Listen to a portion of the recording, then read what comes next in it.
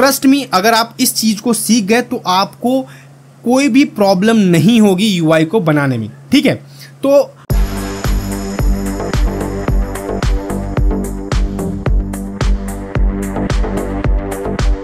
so hi everyone welcome back to my channel आज किस video में बात करते हैं कि कैसे आप किसी भी डिज़ाइन को इजीली बिल्ड कर पाओगे अपने फ्लटर फ्लो प्रोजेक्ट में। अब क्या मतलब है इसका?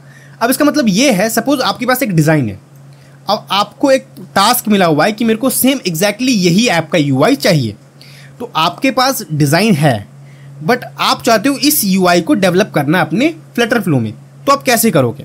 देखो, मेरे पास नंबर ऑफ़ प्रोजेक्ट्स तो नहीं है, जो मैं आपको दे दूँगा, कहूँगा, भाई, ये ऐप मैंने बना दिया है, आप इसको क्लोन कर लो। नहीं, एक तो वो तरीका है कि, भाई, मैं आपके बिहाफ पे सारे प्रोजेक्ट्स बनाऊँ और आपको प्रोवाइड कराऊं। कि, भाई, मैं आपको एक ऐप का यूआई है, वो आपको दे देता हूँ, आप उसको क्लोन कर लो। बट मैं इस वीडियो में बताने वाला हूँ कि किसी भी ऐप के डिज़ाइन को कैसे बिल्ड करते हैं। एग्जैक्टली exactly, अगर मैं भी कर रहा हूँ तो मैं बिल्ड करने से पहले क्या सोचता हूँ? मैं चाहता हूँ कि आप यही सेम चीज़ आप भी सोचो और आपको भी कोई भी प्रॉब्लम ना हो किसी भी डिज़ाइन को बनाने में। इस चीज़ को बोला जाता है लेआउट अब लेआउट का क्या मतलब होता है? एग्जैक्टली exactly, लेआउट का जो मतलब होता है कि आप कैसे अपने विजिट्स को अरेंज करते हो अपने स्क्रीन पे। समझ में विजिट्स मतलब जो भी एलिमेंट्स आप अपने ऐप में यूज़ कर रहे हो। ये हो गया नोटिफिकेशन हो गया, ये टेक्स्ट हो गया, ये कंटेनर हो गया, ये image play icon nav bar जितने भी एलिमेंट्स हैं, उसको आप किस तरीके से अरेंज करते हो, उसको बोलते हैं लेआउट ठीक है? तो अगर आपको ये यूआई डिज़ाइन बनाना है तो आप कैसे सोचोगे पहले? इससे पहले मैं आपको कुछ कॉन्सेप्ट्स के बारे में बता रहा हूँ, कुछ विजिट्स के बारे में बताना चाहता हूँ, जिससे आप ईजिली इन चीज़ों को कर पाओगे। जिसमें से है सबसे पहला हमारा रो। बहुत बार आप यूज़ कर पाए होगे अभी तक। दूसरा है हमारे पास कॉलम। ठीक है। तीसरा है हमारे पास स्टैक ठीक है। ये तीनों विजिट्स हैं हमारे फ्लटर फ्लो के। और मैं थोड़ा सा ना इधर से साइड करता हूँ इसको। और इसको मैं यहाँ पर रखता हूँ। इन तीनों को अगर आप समझ गए तो कोई भी डिज़ाइन बनाना मुश्किल नहीं है आपके लिए। देखो सबसे पहला जो रो है, रो एक विज़िट है जो आपके चाइल्ड को, अपने चाइल्ड को मतलब आपके चाइल्ड को नहीं, रो के अंदर जितने भी एलिमेंट्स आप लेते हो, वो उनको हॉरिजॉन्टली अलाइन करता है। हॉरिजॉन्टली मतलब कैसे? कि सपोज़ करो, अगर मैं रो में एक टेक्स्ट विज़िट लेता हूँ तो वो उसको ऐसे शो करेगा, ठीक है? इसको मैं अंदर लिख देता हूँ टेक्स्ट विज़िट ठीक है? अगर मैं एक और कंटेनर लेता हूँ इसी रो में तो वो कैसे शो करेगा? वो इसी के बगल में एक कंटेनर शो कर देगा। ठीक है? अब मैं इसी रो में एक इमेज भी लेता हूँ तो वो क्या करेगा? एक इमेज इसके बगल में प्लेस कर देगा। ठीक है? अब मैं इसमें एक और एलिमेंट लूँगा, जिसको बोलूँगा मैं रिच टैक्स ठीक है रिच टैक्स आपने सुना होगा फ़िल्टर फ्लो में क्या होता है? तो वो क्या करेगा? एक और रिच टैक्स लेगा और इसके बगल में प्लेस कर देगा। इसको बोलेंगे रिच टैक्स तो आपने एक सिमिलैरिटी देखी होगी इसमें कि आप इसमें कोई भी विजिट्स ले लो, वो उसको हॉरिजॉन्टली अलाइन करता है। ये इसका बाय डिफ़ॉल्ट नेचर होता है कि रो में जो भी एलिमेंट्स आएँगे, वो हॉरिजॉन्टल अलाइन होंगे हॉरिजॉन्टली अलाइन होंगे, ठीक है? वेयर एज अगर आप कॉलम का यूज़ करते हो, अगर आपका कॉलम का यूज़ करते हो, देखो, ज़रूरी नहीं है रिच टैग इसमें सिर्फ़ यही वाले होते हैं। आप रो के अंदर रो भी लोगे ना, अगर आप रो के अंदर, मैं इसको थोड़ा सा साइड करता हूँ, अगर आप रो के अंदर मैं एक रो भी लूँगा तो वो भी हॉरिजॉन्टल अलाइन ही होगा। ठीक है? तो ये मेरे सारे विजिट्स को डिनोट कर रहे हैं। वेर एस कॉलम क्या करता है? कॉलम आपके विजिट्स को वर्टिकली अलाइन करता है, ठीक है? इस कॉलम में जो भी चीज़ें आप लोगे, जो भी विजिट्स लोगे, वो वर्टिकली अलाइन होगे ठीक है? जैसे कि अगर मैं टेक्स्ट लूँगा तो टेक्स्ट यहाँ पे आ जाएगा, मैं तो इस टैग को थोड़ा सा नीचे करता हूँ, ठीक है? टेक्स्ट यहाँ पे आ जाएगा। अगर मैं इसी कॉलम में कंटेनर लेता हूँ तो वो कंटेनर ऐसे आएगा। इसी कॉलम में मैं एक इमेज भी लेता हूँ तो सिंपली वो यहाँ पे आएगा। इसी कॉलम में मैं एक रिच टेक्स्ट लेता हूँ तो वो कहाँ पे आएगा? वो आएगा ऐसे। इसी कॉलम में मैं एक और रो लेता हूँ तो आएगा नीचे। और इसी कॉलम में अगर मैं एक और कॉलम लेता हूँ तो वो भी आएगा इसके नीचे। कॉलम ठीक है? मैं इन सबको अलाइन करता हूँ पहले, जिससे थोड़ा सा ठीक लगे।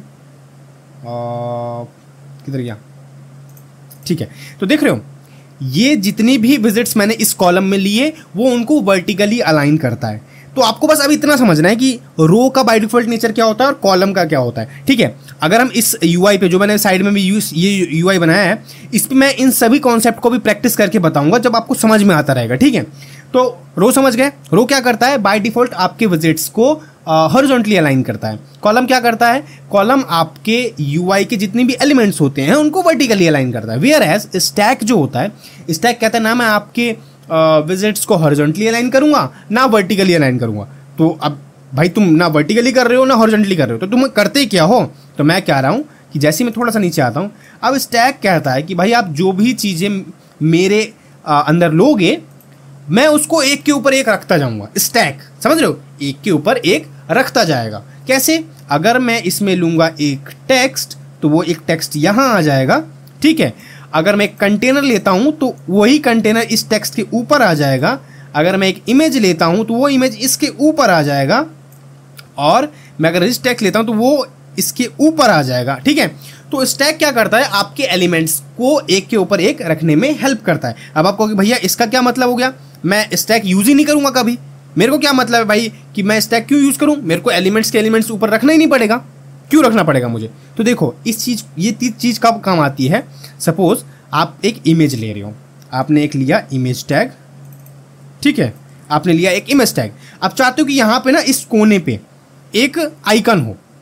एक आइकन हो व्यू का या प्ले का। तो उस चीज़ को अगर आप रो में लेते, अगर आप रो में लेते, वो आती इसके बगल में।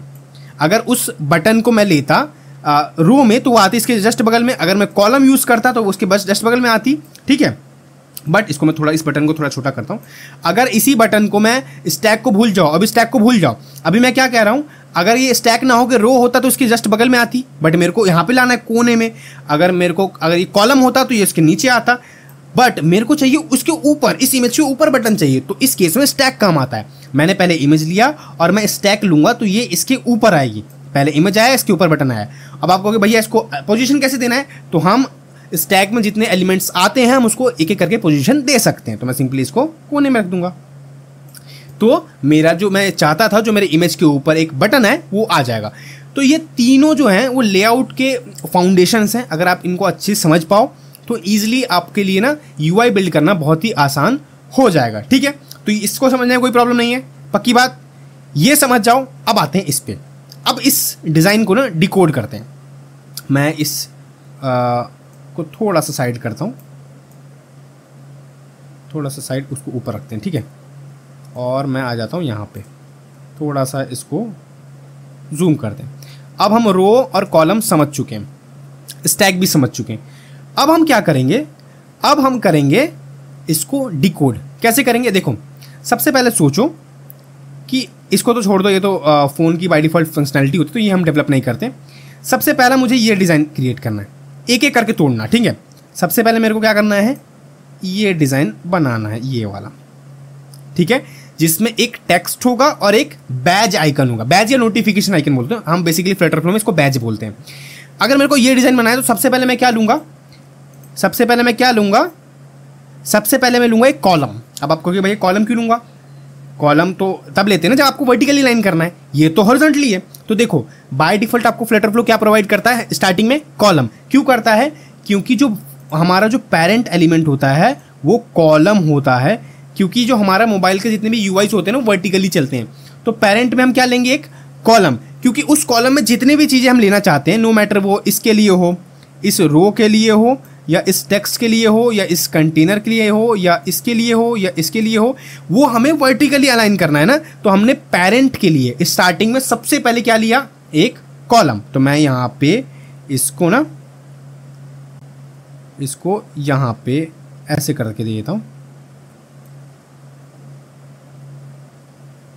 और एक टेक्स्ट देता हूँ, इसमें मैं लूँगा कॉलम ठीक है? तो हमारा पेरेंट हो गया रेडी अब मैं क्या करूँगा? अब मेरा सबसे पहला टास्क क्या है? इसको बिल्ड करना। मॉर्निंग मलिशा और एक बैच तो मैं क्या करूँगा? एक लूँगा रो एक मैंने सबसे पहले स्टार्टिंग में रो ली क्योंकि मेरे को चीज़ों को हॉरिजॉन्टली डिवाइड करना है। हॉरिजॉन्टली इसलिए क्योंकि पहले मेरे को मॉर्निंग एक टेक्स्ट दिखाना है उसके बाद बैच दिखाना है। तो मैंने एक रो लिया और इस रो को मैं यहाँ पे आ, नाम देता हूँ। क्या? रो ठीक है? इसको मैंने रो नाम दे दिया और इसको भी मैं अब देखो, मैंने एक रो ले लिया। अब इसके अंदर मेरे को क्या लेना है? इसके अंदर मेरे को लेना है एक टेक्स्ट विज़िट और एक बैच तो मैं सिंपली क्या करूँगा? इस रो के अंदर मैं जो भी चीज़ लूँगा, वो मेरे हॉरिजॉन्टली आएगी। तो मैंने सिंपली यहाँ पे एक टेक्स्ट विज़िट ले लिया और उसके जस्ट बगल में क्या ले लिया? एक बैज ले लिया। अब क्योंकि मेरे पेरेंट में क्या था? रो था तो ये इधर और उसके बगल में जस्ट ये आ चुका है। ठीक है? तो पहला वाला कंप्लीट हो गया ना? देखो ध्यान से समझो, पहले मैंने क्या लिया? एक रो लिया, क्योंकि मेरे को चीज़ों को वर्टिकली अलाइन नहीं करना था हॉरिजॉन्टली करना था। वर्टिकली करना होता तो कॉलम लेता। तो उसके अंदर मैंने एक रो लिया, उसके अंदर मैंने एक ले लिया टेक्स्ट विज़िट मैं इसको बगल में लिखता हूँ। ये टेढ़ा क्यों जा रहा है भाई? अच्छा। ठीक है, इसको मैं सीधा करता हूँ।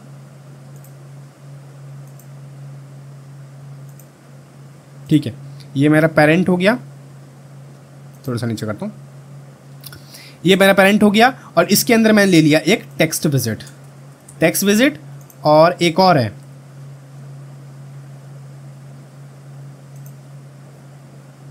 इसको इधर करके लेता हूँ। और ये मेरा हो गया क्या? ये मेरा हो गया हमारा बैच ठीक है? तो ये आ गया साइड में। तो हमारा पहला जो काम था ये वाला मॉर्निंग वाला उसका खेल खत्म हो गया, ठीक है? अब उसके नीचे मेरे को एक टेक्स्ट दिखाना है। तो क्योंकि हमने पेरेंट में, जो हमारा पूरा ये दिख रहे हो, ये पूरा जो है वो कॉलम ले रखा था तो मैं डायरेक्ट इसी कॉलम में क्या लूँगा? एक टेक्स्ट ले लूँगा। तो यहाँ पे मेरा बाय डिफ़ॉल्ट जैसे मैं एक टेक्स्ट लूँगा बाय डिफ़ॉल्ट में जैसे एक टेक्स्ट लूँगा तो मेरा इसके जस्ट नीचे आ जाए, क्योंकि मेरा पेरेंट क्या है? कॉलम है। तो मैंने सिंपली इसमें ले लिया एक टेक्स्ट विज़िट ठीक है? अब मैं क्या करूँगा? इस टेक्स्ट विज़िट आ गया। अब देखो मेरे को अब ये यूआई बनाना है। अब ये यूआई बनाना है तो इस यूआई को पहले सोचो कि ये यूआई बनेगा कैसे। समझ रहे हो? इस यूआई को सोचेंगे हम कैसे? देखो ध्यान से देखो। अब पहला जो है आ, पहला जो है हमारा ये कंटेनर आ रहा है। कंटेनर हम इसलिए लेंगे क्योंकि आ, हमारे जो रो वगैरह में है रो और कॉलम ना उसमें कोई बाय डिफ़ॉल्ट कलर बैकग्राउंड वाले ऑप्शन नहीं होते। तो सबसे पहला हम एक बाहर का बॉक्स लेंगे। जिसमें हम अपने लेआउट को डिज़ाइन करेंगे। तो सबसे पहला काम क्या करेंगे? एक लेंगे हम बाहर कंटेनर। ठीक है, मैं इसका इसका इसका डिज़ाइन चेंज करता हूँ। सॉरी, इसका कलर चेंज करता हूँ। ठीक है? अब देखो, मैंने एक बाहर लिया है कंटेनर। मैंने एक कंटेनर लिया है, इसको मैं लिख देता हूँ यहाँ पे।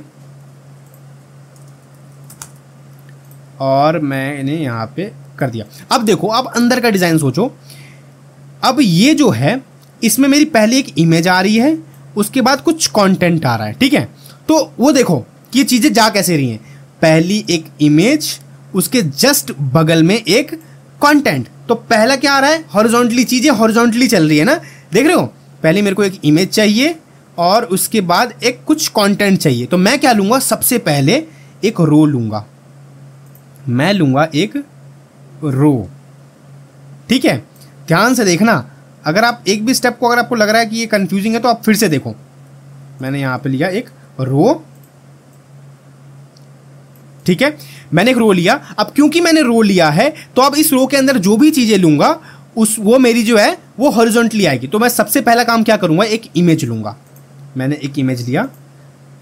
यहाँ पे मैंने लिया एक इमेज ठीक है? मैंने जैसे यहाँ पे एक इमेज लिया अब ये इमेज लूँगा। अब मैं इसको बाहर भी लिख देता हूँ। यहाँ पे मैं लिखता हूँ इसको।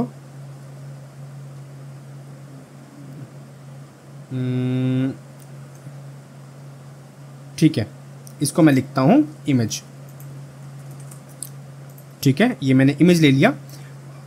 थोड़ा सा जूम कर देता हूँ अगर आपको प्रॉब्लम हो रही है देखने में तो। ध्यान से देखना। मैंने एक कंटेनर लिया सबसे पहले, क्योंकि मेरे को डिज़ाइन वगैरह देना था, मेरे को एक बॉक्सी लुक चाहिए तो मैंने कंटेनर लिया। उस कंटेनर के अंदर मैंने एक रो लिया है रेड वाली आउटलाइन को देखो, मैंने रो लिया है, क्योंकि मेरे को हॉरिजॉन्टली चीज़ें प्लेस करनी थी। और सबसे पहले मैंने लिया इमेज और उसके जस्ट बगल में मैं एक लूँगा कॉलम अब आप कहोगे कॉलम क्यों लोगे? यहाँ पे तो टेक्स्ट है। तो देखो कॉलम इसलिए लूँगा, क्योंकि ध्यान से देखना, ये जो चीज़ें हैं, ये जो एक तो मेन बॉक्स एक तो मेन लेआउट है, उसके अंदर एक, दो तीन चीज़ें कैसे चल रही हैं? वर्टिकली चल रही है ना? तो मैंने एक इमेज लिया, उसके जस्ट बगल में क्या लूँगा? एक कॉलम मैं लूँगा एक यहाँ पे कॉलम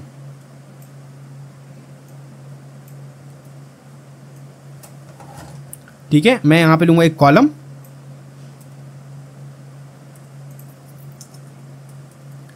और यहाँ पे मैंने ले लिया। अब कॉलम क्यों लिया? क्योंकि मेरे को अंदर ना तीन टेक्स्ट हैं। एक एक, दो, तीन। ये मेरे को वर्टिकली शो करने थे, इसलिए मैंने लिया यहाँ पे कॉलम। तो अब मैं क्या करूँगा? सबसे पहले लूँगा इसी कॉलम के अंदर एक टेक्स्ट। तो मैं सिंपली यहाँ पे लूँगा सबसे पहला एक टेक्स्ट बॉक्स। इसमें दिखाऊँगा रेडी टू स्टार्ट और यहाँ पे मैं लिख भी देता हूँ बगल में कि ये मेरा है टेक्स्ट। विज़िट ठीक है? इसके जस्ट नीचे में एक और लूँगा। इसको भी लिख देता हूँ मैं। सेम चीज़ ये भी है सेम ये भी टेक्स्ट विज़िट ही है, ठीक है? और इसके नीचे देखो, इसके नीचे देखो, अब मेरे को एक चीज़ दिखानी है। अब मेरे को चाहिए इसके जस्ट नीचे एक रो रो क्यों चाहिए? क्योंकि मेरे को उसमें एक बटन दिखाना है और एक टेक्स्ट दिखाना है। अगर मेरे को एक सिर्फ़ टेक्स्ट दिखाना होता तो मैं डायरेक्ट टेक्स्ट लेता बट इसमें मेरे को एक, क्या दिखाना है? एक बटन और एक टेक्स्ट तो चीज़ें कैसी हैं? हॉरिजॉन्टली है ना, एक बटन उसके जस्ट बगल में टेक्स्ट तो मैं क्या करूँगा? इसमें एक लूँगा। क्या? क्या लूँगा?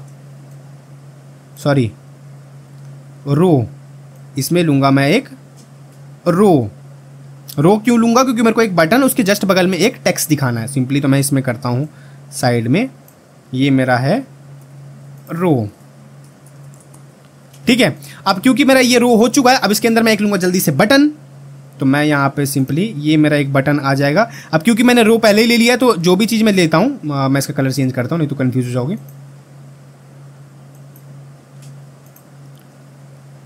मैं इसमें एक लूँगा बटन। ठीक है? इसको बाहर हम लिख देते हैं बटन।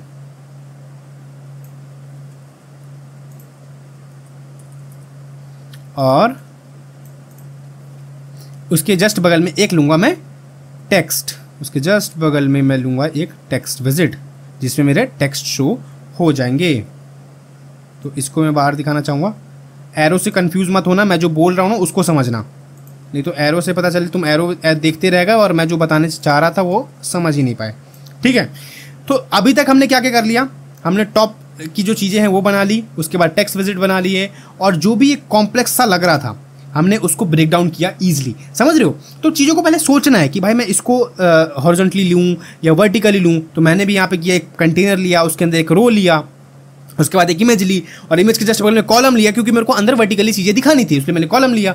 उसके अंदर मैंने एक पहला टेक्स्ट लिया, दूसरा टेक्स्ट लिया। उसके बाद मैंने टेक्स्ट ना लेके एक रो लिया क्योंकि मेरे को, अगर मैं रो लूँगा तो उसके जस्ट नीचे आएगा और रो इसलिए ले रहा हूँ क्योंकि मेरे को उसके अंदर ना एक बटन भी दिखाना है और टेक्स्ट भी दिखाना है। समझ रहे हो? एक बटन भी और एक टेक्स्ट भी।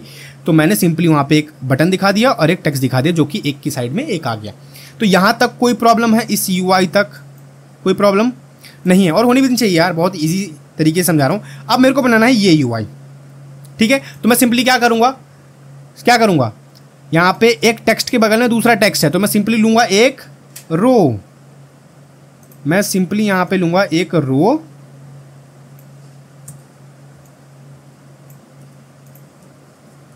ठीक है? और इस रो के अंदर में लूँगा मैं दो टेक्स्ट बॉक्स एक रिकमेंडेड के लिए और एक और रीसेट के लिए। ठीक है? मैंने रो इसलिए लिया था क्योंकि मेरे को टेक्स्ट आजू बाजू में दिखाने हैं। तो मैं इसको भी लिख देता हूँ कि ये मेरा टेक्स्ट बॉक्स है। ठीक है? और मैं इसके लिए भी लिख देता हूँ सेम यही चीज़ है। ठीक है? इतना समझ में आ गया? कोई प्रॉब्लम नहीं है। अब बात आती है थोड़ा सा ना इंटरेस्टिंग देखो अब एक ही वीडियो में ना स्टैक रो कॉलम तीनों चीज़ के बारे में चीज़ें सीख जाओगे। अब मेरे को बनाना है ये वाला यू hmm, कौन सा? ये वाला।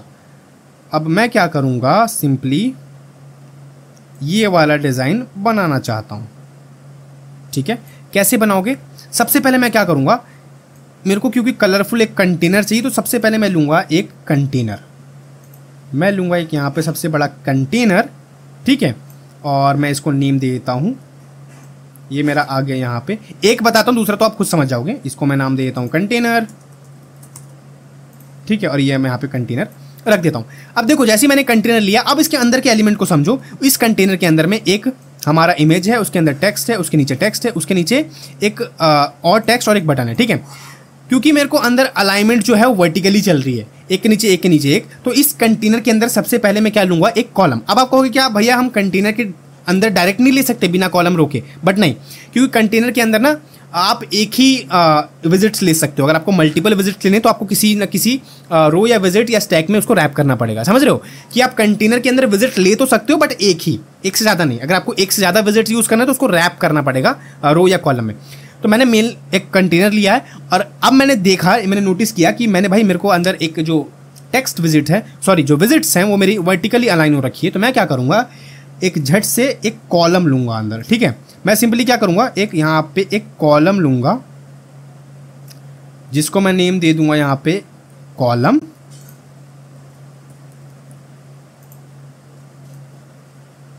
ठीक है? एक कॉलम लूँगा और उस कॉलम के अंदर सबसे पहले क्या लूँगा मैं? एक इमेज क्योंकि मैंने कॉलम में रखा तो एक इमेज यहाँ पे ऑटोमेटिक आ जाएगी। आइकन या इमेज बोल सकती हूँ। मैं इसका कलर चेंज कर देता हूँ अपने रेक्टेंगुलर शेप का। मैं यहाँ पे ले लूँगा थोड़ा सा वाइट अब ये जो मेरा है, वो आ जाएगा सबसे पहला मेरा इमेज ठीक है? अब देखो, ये मेरा आ गया सबसे पहले इमेज अब इसके जस्ट नीचे मेरे को एक टेक्स्ट चाहिए तो मैं सिंपली क्या करूँगा? एक टेक्स्ट ले लूँगा। एक ये वाला टेक्स्ट लूँगा। दिख नहीं रहा क्या? हम्म, मैं कलर वाइट चूज़ कर लेता हूँ। इसके नीचे मैं जस्ट एक ये ले लूँगा और एक और ये ले लूँगा टेक्स्ट और इसके लास्ट में लूँगा क्योंकि ये दो मेरे दोनों मेरे टेक्स्ट बॉक्स है तो मैं इसको लिख भी देता हूँ कन्फ्यूज़ मत होना। मैं इसको ना लिख भी देता हूँ कि चीज़ें हैं क्या। ये मेरा एक इमेज हो गया। मैंने यहाँ पे बाहर इमेज लिख दिया है ठीक है? और ये मेरा है टेक्स्ट ये मेरा है सॉरी इमेज नहीं। ये मेरा है टेक्स्ट विज़िट और ये जो नीचे वाला है वो भी मेरा है क्या? वो भी मेरा है टेक्स्ट विज़िट ठीक है? दोनों तो सेम ही है तो दोनों एक ही चीज़ को टारगेट कर रहे हैं।